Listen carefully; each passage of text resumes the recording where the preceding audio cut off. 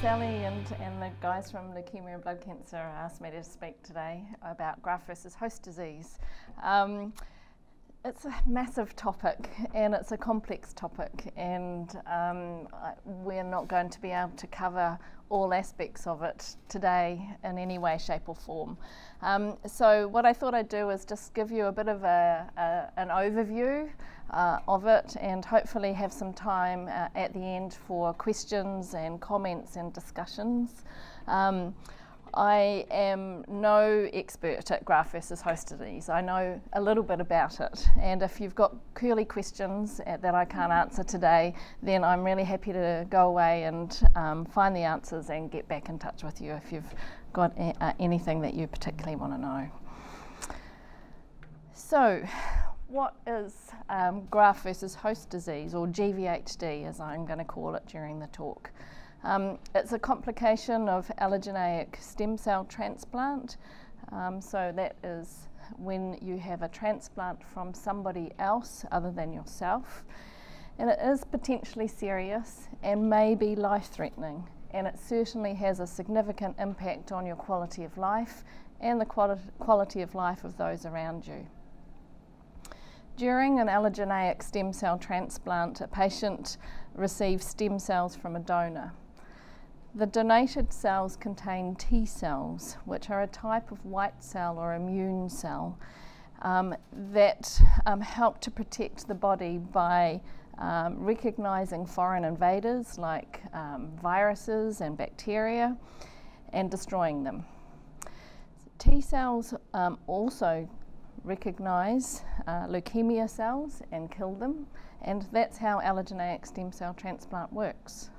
However, donor cells or the graft um, may also attack the patient's healthy and um, normal organs, um, the host, um, which can impair those organs and may cause them to fail. So, this is graft versus host disease, the new stem cells, the graft, attacking the host or the recipient. So 20 to 60% of um, allogeneic transplant recipients will get some form of graft versus host disease.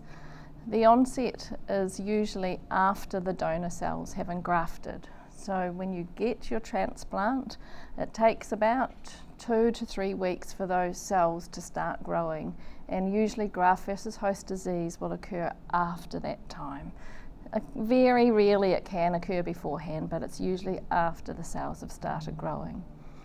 It does vary in severity, so it may be mild, may be moderate, it may be severe.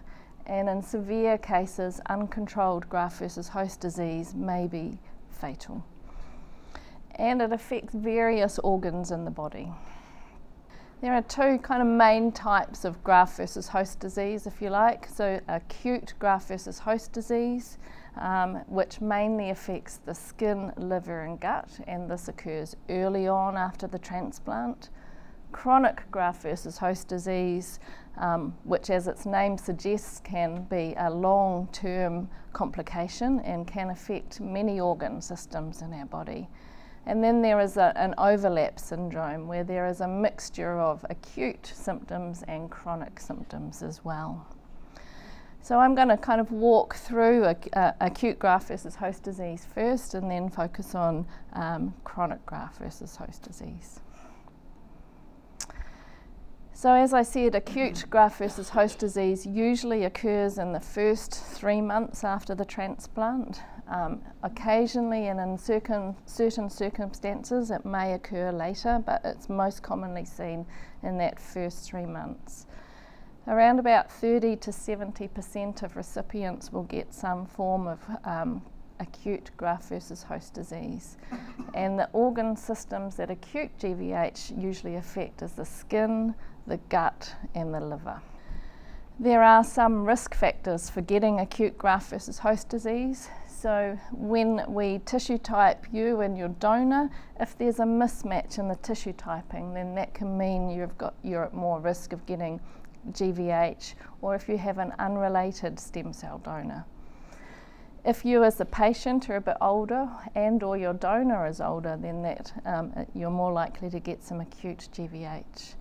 if you have a female donor going into a male recipient, the intensity of the conditioning regime or that chemotherapy and radiotherapy that we give you prior to the stem cells going in um, can um, impact on acute graft versus host disease. So if you have a very high um, myeloablative transplant with high doses of chemotherapy and radiotherapy, there's much more inflammation of your gut and things, and so you're more likely to get some acute graft versus host disease.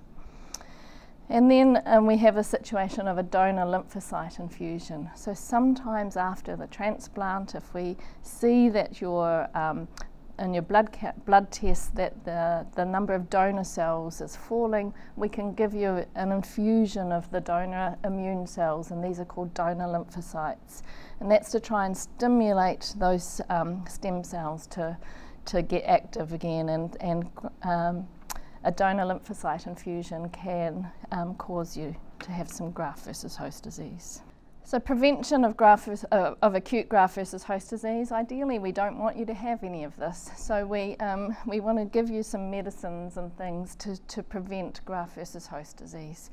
And so um, our most common immune suppressing medicines that we use to prevent acute GVHD are cyclosporin and methotrexate, and then a couple of others that we use fairly regularly are tacrolimus and mycophenolate.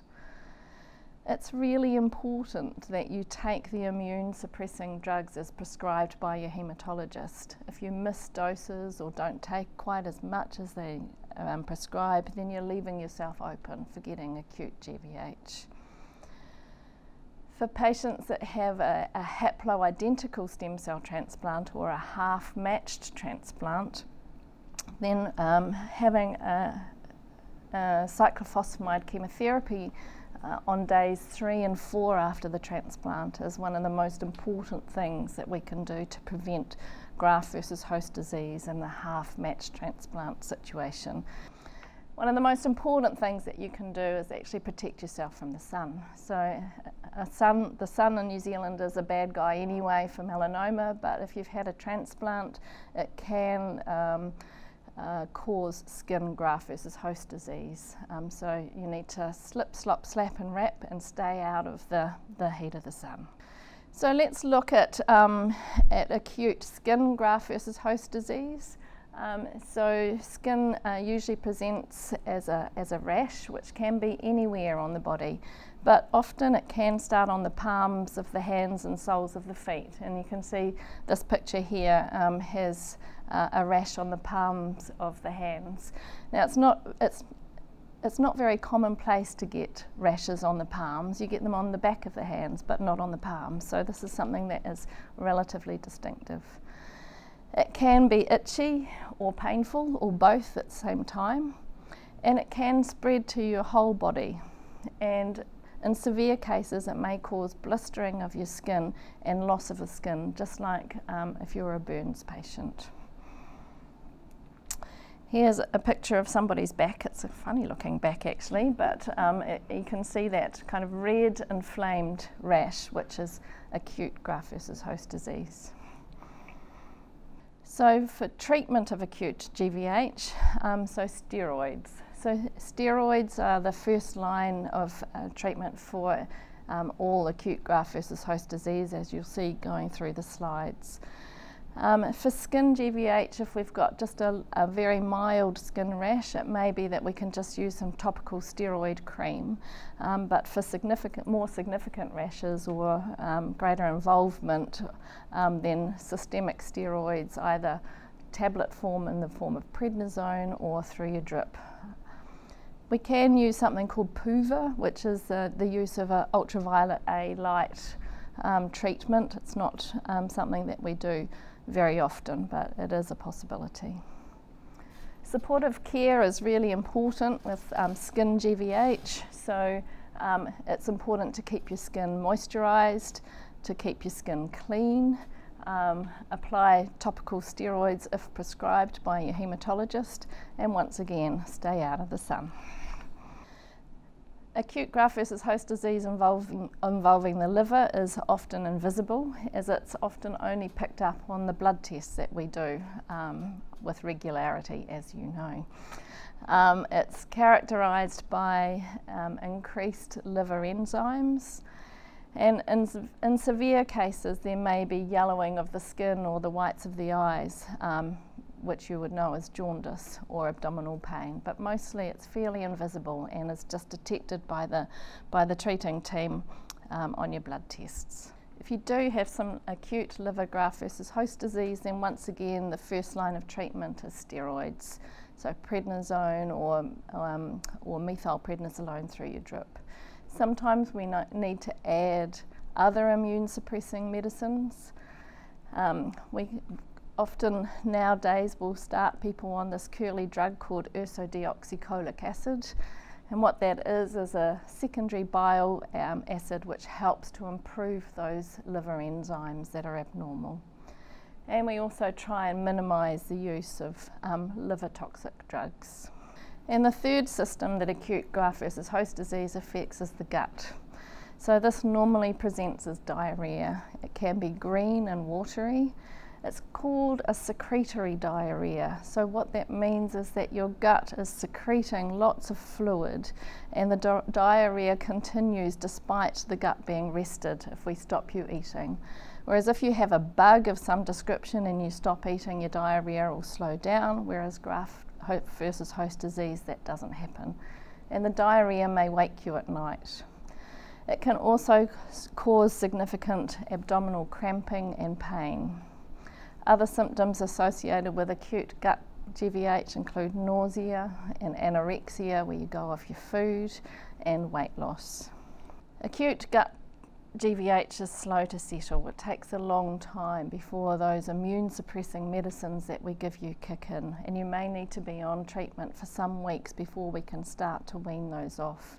And during that time, because your gut is not absorbing things, you may need to be in hospital and may, may need to have um, supportive feeding um, to prevent malnutrition. So, once again, for the treatment of acute GVH, the first line is steroids. If um, you don't have too much diarrhea and you're absorbing things okay, we can give you some oral prednisone, but otherwise, we need to give you your steroids through a drip. And we can also use a special medicine called budesonide, which is a steroid pill that you can swallow, eh, but the steroid just bathes your gut and is not absorbed into your bloodstream. We oftentimes add in other um, immune suppressing medicines as well, like mycophenolate. Supportive care measures are really important with gut graft versus host disease because a lot of the time you're not able to, um, to absorb medicines or um, nutrients, and so supplemental feeding is really important, and our dietitian is, is particularly helpful in this situation. Um, you may need high calorie, high, high protein food supplements, you may need a lactose free diet, or if you have bad gut GVH, you might need to be fed through your drip using total parenteral nutrition. We often will completely rest your gut, and um, you may need to be on some anti diarrhea medicines as well. So, just to summarise acute graft versus host disease, it usually occurs in the first three months after the transplant, and the three main organ systems that it involves is the skin, the gut, and the liver. It may be mild, not need any treatment, it may be moderate, may be severe, and in rare cases, it may be um, fatal. First line of treatment is steroids, whether it's a tablet or through your drip or some topical, topical creams. Okay, so chronic graft versus host disease is the most common late complication after an allogeneic stem cell transplant. It most commonly occurs around six months after the transplant, but around 10% of people can be diagnosed beyond a year after transplant, and some people are diagnosed many years after transplant. It can often be seen when the doctors are trying to wean down your immune suppression therapy, so you might get a flare of graft versus host disease. And it has a very different clinical picture to acute graft versus host disease. It affects many parts of your body and it has features that are similar to autoimmune diseases, whereas acute graft versus host disease is more of an inflammatory picture. So, chronic graft versus host disease can occur in 20 to 70% of patients surviving more than 100 days after transplant. It is associated with decreased quality of life for you and the people around you, and also can be a cause of death after transplant. So, risk factors for chronic graft versus host disease is if you've had acute graft versus host disease in that first three months after your transplant, if you've had an unrelated donor transplant, if the stem cells that we've collected from your donor have been collected from the peripheral blood rather than the bone marrow, so you can get more craft, chronic graft versus host disease. And that's because there are more T cells, which are the donor's immune cells, collected in the peripheral blood rather than from the bone marrow. If you have a female donor going into a male recipient, and if you have a female donor that's had more than one pregnancy, um, because that female donor has been exposed to other immune systems through her pregnancies, um, her um, immune system is a little bit more active. So I'm going to walk through some of the uh, organ systems that are affected by chronic graft versus host disease. And so let's look at skin first. Um, it's the most common organ to be involved, and signs include rashes, but not those red inflammatory rashes that we saw with acute graft versus host disease. You may get a change in skin colour, you may get a change in skin texture. So your skin can become hard and inflexible, may become shiny, it may become thick. You may get some itching, burning, or tightness of the skin, and you may get some new swelling in the hands, arms, feet, or legs. This picture here is a, is a lady with chronic skin graft, and you can see these dark patches and the skin are, under those dark patches is probably quite thick and um, not as supple as, uh, as, the rest of, uh, as the rest of her skin. It may also affect your nails, hair and sweat glands and so you can see these nails up here, they may be brittle or ridged or split easily. You may lose your fingernails or toenails. You might get some you might get some hair thinning or a change in your hair texture um, or hair loss. It may also affect your sweat glands, and if that happens, then you may not be able to sweat, and so being in hot um, climates might be difficult for you because the sweating helps us to control our body temperature. So, treatment of chronic skin GVH once again involves immune suppression, so there's a theme going through here. Um, so, oral or topical immune suppressing medicines, and once again, often we use steroids. Using moisturising creams um, with a water soluble base is really, um, we encourage, and we encourage you to do that after your bath or shower because it's absorbed into your skin better when it's slightly damp. We suggest you use emollient creams at night, so these are fat or oil based creams, and um, you want to keep them close to your skin. So wear old clothes, gloves or socks or leggings to, to keep that cream in contact with your skin to help moisturise it. It's not very sexy though, sadly. Avoid the sun, once again, and um, avoid using perfumed soaps and creams and harsh laundry detergents because that can irritate your skin and also avoid scrubbing, scrubbing your skin. So, oral or mouth graft versus host disease is another common site for, um, for GVH. So, the signs of this include increased mouth sensitivity or pain, um, having a very dry mouth, which is like mine right now, um, painful ulcers. You may, you may see white lacy cobwebs or lacy patches, uh, white patches on the inner aspects of your cheeks and you might have purplish or reddish areas on the lips or inner cheeks. And you can see this picture on the left here. You've got this kind of white lacy stuff going on that's very, um, very uh, consistent with chron oral chronic graft versus host disease. And this one on the right here, you can see ulceration on the inside of the lip there, which can be very painful. So treatment for oral graft versus host disease, once again, is immune suppression, um, usually topical creams or rinses or sprays to try and um, dampen down that, that um, inflammation. But it's really important that you take good care of your mouth.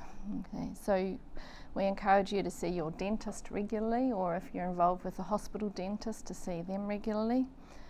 It's important to use fluoride gels and rinses to pre prevent tooth decay. If you have mouth dryness as a feature of your graft versus host disease, then you're not producing much saliva, and saliva protects your teeth from dental caries. So, using fluoride gels and rinses is important to prevent tooth decay. It's important that you brush and you fl floss your teeth regularly and um, use artificials or um, salivas or rinsing your mouth often with water to help with um, dryness. If you do have a dry mouth, sometimes chewing sugarless gum to stimulate saliva production helps. And if you do have a dry mouth, um, then sipping water during meals helps um, with your chewing and swallowing of your food. Saliva helps moisten your food, um, which means you can chew and swallow it a little bit easier. So it's uh, uh, important to uh, avoid a few things if you can. So drinks with caffeine, um, and tobacco and alcohol, they dry out your mouth. And if you don't have much in the way of saliva production, then um, that's um, not going to help. If you have a painful mouth, then spicy or salty foods are going to cause you extreme pain. And mouthwashes with alcohol, so a lot of over the counter mouthwashes do have some alcohol in it. They dry your mouth out and they may be very painful as well. So chronic eye graft versus host disease, often noticed as dry eyes with dry irritation. So the signs, as I say, are dryness, grittiness of your eyes, redness, burning and pain. Um, you may have some sensitivity to bright lights. You may have blurry vision, and this is usually in the context of um, scarring of your cornea. And you have eyes that tire easily. And having dry, sore eyes can also make you feel really fatigued. So treatment of um, eye chronic GVH, um, we, you should be using um, single-use preservative-free artificial tears to keep your eyes nice and moist and it may be that you're using those every hour during the day. At night it's important to use lubricating ointment. When you're asleep and dreaming your eyes move around the insides of your eyelids a lot and if your eyelids are dry, then you're potentially grazing your cornea. So using a, a lubricating ointment at night is important. Use wraparound eyewear. So it um, helps um, keep wind and dust out of, um, of your eyes and, and the wind, you know, dries them out. So, and it helps keep moisture in. So using wraparound eyewear is important medical interventions that can be done. So if you have some tear production, um, then the ophthalmologist can block your tear ducts to prevent it draining away and therefore keeping moisture in your eyes. Can use some topical immune suppressing medicines. Can use um, serum eye drops. So the New Zealand Blood Service can make some serum eye drops for you. And there are things called scleral lenses, um, which are available in the US um, where they have a you have a, a, a reservoir, if you like, of fluid and some contact lenses, which helps keep your um, eyes moist. But we don't really have that option available to us. So, a lung chronic graft versus host disease. So, this is something that can occur um, not in the transplant world. It's called bronchiolitis obliterans, um, but for um, uh, people who are post-transplant, um, this is really lung graft versus host disease, and it may cause scarring in the small airways that interfere with breathing out of air. Signs may be a cough or a decreased ability to exercise, but often it begins silently and people don't notice any symptoms and may just be picked up when your team do um, routine lung function testing after the transplant.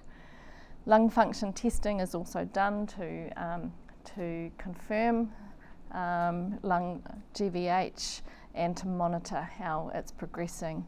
And we can also do CT scans and chest x-rays to check.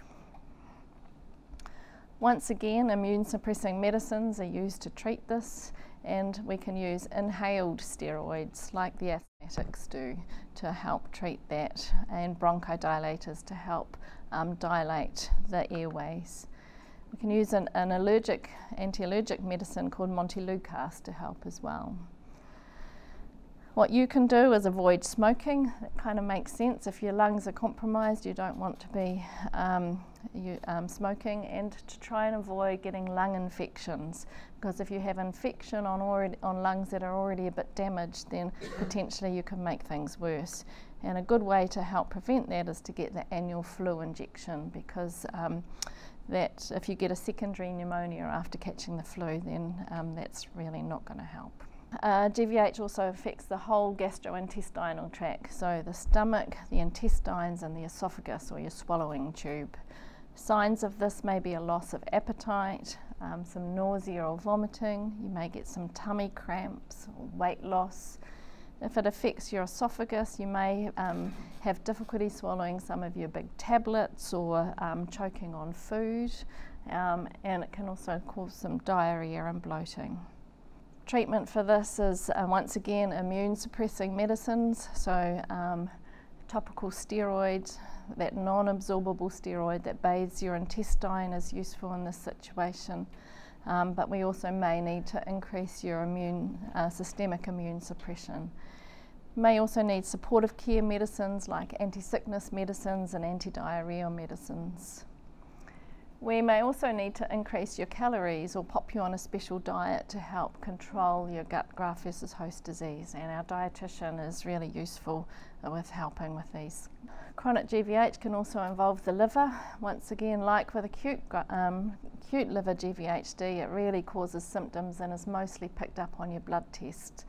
Symptoms are usually related to bile not being cleared from your blood, and that can cause you to turn yellow in severe cases, but mostly it's just um, picked up on your blood tests. Once again, immune suppressing medicines are used to treat it. Um, we try and rest your liver and give you some ursodeoxycholic acid to try and normalise your liver tests. What you can do is avoid over the counter medicines and homeopathic medicines and some nu nutritional supplements. So, some of these um, uh, items they can contain things that may interact with the medicines that your haematology team is giving you, or else be toxic in themselves um, to the liver. So, um, we're happy to let you try things, but we want to know what's in them. And of course, alcohol. So, alcohol is processed through your liver, and um, avoiding alcohol is going to be of huge benefit to your liver.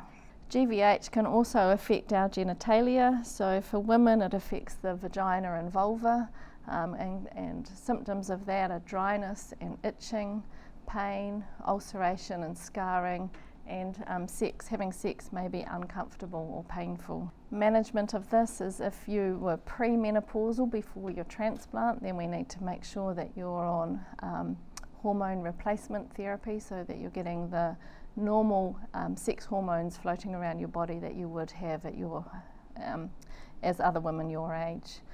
Um, topical estrogen creams applied to, locally to the vagina at least three times a week we encourage you to have sex. Um, so it's important, and we do encourage that because having sex helps keep the um, the walls of the vagina apart, but you need to use lots of lubrication. If you're not sexually active, then we encourage um, by, um, using vaginal dilators to, to help with that. And we want you to see a gynecologist regularly. And if you do have some graft versus host in that area, then once again we use um, some topical steroid. What you can do is avoid strong soaps or perfumed products because that can irritate um, the area as can wet or tight clothing and it's important when you're going to the toilet to wipe from front to back because that um, helps prevent infection. The men don't get away scot-free either, um, so it can if It can uh, affect the skin on the penis and the scrotum, and signs of this include itching, scarring, or pain, or abnormal appearance. and management of this is um, topical moisturising creams or steroids. And if um, you haven't been circumcised before, sometimes you do need to have circumcision to help with this. So other um, features of chronic graft versus host disease, it may give you some muscle cramps and often um, magnesium supplementation may help with this. Um, some people get joint pain and stiffness, so um, engaging in um, yoga or Pilates or exercise regimes is, is, is good for that. You may see changes in your blood tests, so you might have a high or a low platelet count, and if you have a low platelet count, that can freak you out because you think your disease has come back. Um, you may have more um, eosinophils, which are a kind of white cell. May cause you to be a little bit anemic, which is a drop in your red cells, and it may also cause you to be a little bit neutropenic. One of the other features of um, chronic graft versus host disease is infection, and it may be uh, as a, as a result of the graft versus host disease itself, but more likely it's because we've increased the immune suppressing medicines to dampen down the graft versus host disease, and so we've therefore dampened down your immune system, so your ability to fight infection is less. Um, so infection can be um, a bit of a problem. So chronic graft versus host disease may have a sig significant impact on your quality of life and for those around you as well. It may change how you look. It may um, change your ability to be able to do some of the things that you were able to do before your transplant. It may um, cause you to have decreased energy. And it may mean that you just need to reframe yourself and find a new normal which is different, a different you from the pre transplant you. It can um, cause significant fatigue and it can, of course, cause stress and anxiety and depression. It's normal to feel sad or angry or frustrated. You know, this, um, you know, this chronic graft versus host disease has really changed things for you and the way that you're, you've run your life. Um, but if you are feeling depressed most of the time or have long periods of um, feeling sad, then it's important to get some help. So if you're diagnosed with chronic graft versus host disease, what can you do? Well, keeping healthy is really important. So you need to keep up with your well woman and well man checks through your GP and any other GP, um, screening tests that you would routinely have done with your GP. Physical exercise and activity is really important. It helps uh, if you've got um, skin GVH, it helps keep you stretched out and supple, and um, it's good for you anyway healthy eating and drinking enough fluids is very important, um, and reducing stress and staying out of the sun again. So, um, any concerns? So, if you think you may have some signs of, gra of graft versus host disease, then get in touch with your haematology team, whether it's one of your doctors or one of your transplant nurses. Um, and, and it's, you know, do do it. It's best to get on with treatment early if, if that's what it really is. But if also, if you have any questions or concerns, just once again get in touch with them. No question is a silly question, and we're really happy for you to, to ring us or email us. We're not quite up to Twitter yet. so, summary of chronic graft versus host disease. So, it is the most common long term complication of allogeneic stem cell transplant. As I've said, it may affect multiple organ systems, but skin and mouth is the most common. It may have a significant impact on your quality of life and those around you. And you may need to think about your post transplant life not as resuming your old life, but instead of reframing yourself and creating a new life direction uh, with um, GVHD factored in. So that's all a little bit depressing, so I want to kind of finish with the silver lining, I guess. So the risk of relapse is lower in patients who have some chronic graft versus host disease. So, when your new immune system attacks your tissues causing graft versus host disease, it's also attacking any cancer or leukemia cells left in your body. Now, this is called the graft versus tumour effect or graft versus le- leukemia effect. And it's um, one of the important reasons why allogeneic stem cell transplants work.